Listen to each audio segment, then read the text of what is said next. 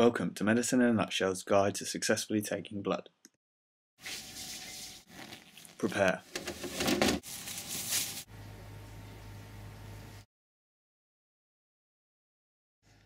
Prevac. Tourniquet. Palpate. Clean.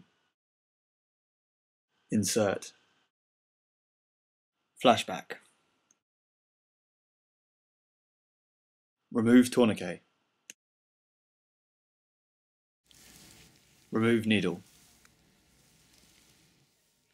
Apply cotton wool.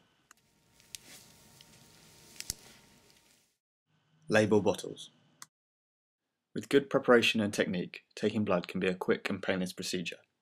You will need a tourniquet, cleaning products, butterfly needle and adapter, blood bottles, cotton wool and tape. Prepare the needle by attaching the adapter and first blood bottle.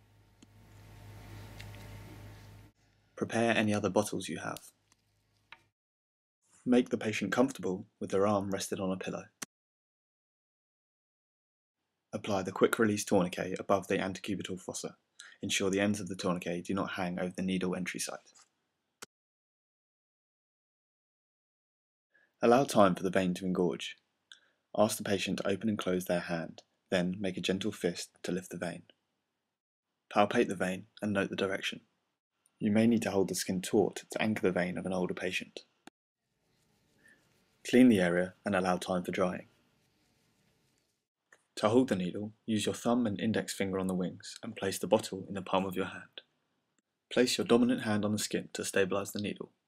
Use your other hand to anchor the skin if needed. Warn the patient of a sharp scratch and insert the needle at the angle of the vein with the beveled side upwards. Note the blood moving in the tube.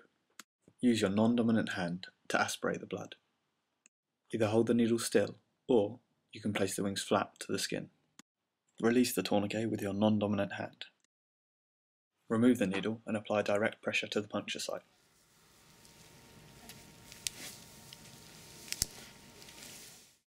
Label the bottles, document in the notes, and send the samples to the lab.